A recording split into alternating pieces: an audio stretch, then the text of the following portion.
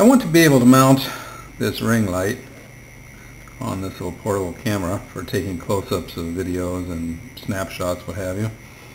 And there's a couple things. It would be nice, for example, if this had a, a, a filter ring. It does not, has no screw filter. Plus the fact, as you can see, the lens retracts, so even if it had a filter screw, it would not work. And so I'm trying to figure out how to attach this on here. One of the rules is I have to avoid covering this sensor. And right now my ideas involve something like this PVC ring, some silicone, uh, something like that, uh, some kind of a bracket down here held on by the uh, tripod screw. So that's where I am right now. Uh, let me go work on this a bit. I'm thinking about uh, using this metal bracket to hold the, tu the tube in place, which will have the light ring mounted on it. And the thinking is to slice this down here, saw it down here, bend this out so I have a tab sticking forward like this, and the forward sticking tab will hold the ring on. And I'm going to drill a hole right about here for the screw hole. So here's what I've got right now. I sawed off this piece to make it as long as the camera. I sawed off this piece of the bracket up here so it's gone. Now what I need to do is saw, I need to keep a tab right in the middle, maybe about as wide as my finger, and so I can mount so I can mount the bottom of this to the tab. So I'm going to bend it out mount this to the tab and got to do something along here. Not quite sure what it is. I think I'm going to keep a piece down in here cut it this way so that it follows the curve of the lens and help hold it in position. And this side I'll probably just cut off because I have this tab right here to help hold things. And yeah that's the plan. So I'm about a I don't know three quarter inch tab or something like that right down the middle sticking forward so I can screw it to the bottom of this because you can see there's a gap in the bottom down there and I want that tab to go right through that slot right in here and then I can run some screws up in there and life will be good. So that's the plan right now. So now what I've done is I've cut out part in here and around. I shouldn't have cut down this far over here. If it was for beauty I'd redo it, but I should have not cut this line down so far.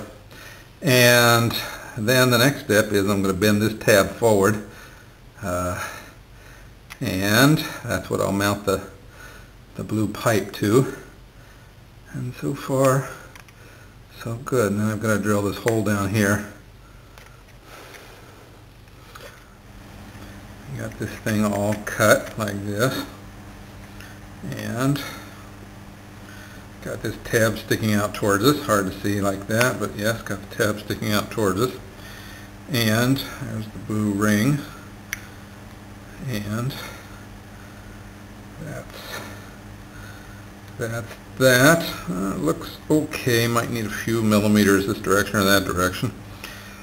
I don't have that mounted yet, just sitting on there. There is how it looks right now with the lens through it and with the uh, screw down in it and still debating on how to attach it down here where my little finger is. I'm thinking about one screw and filling that with epoxy. Uh, not sold on that idea yet, but two small, very small screws. Something like that. And here we are. I've got these two bolts in here. I was going to fill that gap down there with epoxy. I'm not really sure that would help. It would make me feel better, but I'm not sure it would do any good. It's on there stronger than uh, stronger than I can bend the bracket if I pull on it, so it's on there pretty tough. It's not wiggling. Why don't I cut the screws off? Future expansion project. And here it is with the ring epoxied in place. Uh, got to hook up the wire. Got to put a plug on there. And first test. I could not wait for the painting. There we go. Cranking up the voltage. Uh, 11 volts getting there. And there's full brightness. Turn the camera on you can see how the lens works. lens pops out through there. The lens sticks out just beyond the, the light so you don't get any flare on the lens.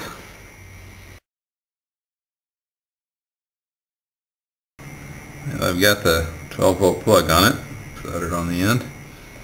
You can run it either on the uh, 12 volt battery pack like this or a 12 volt supply like this one. And got everything put in place.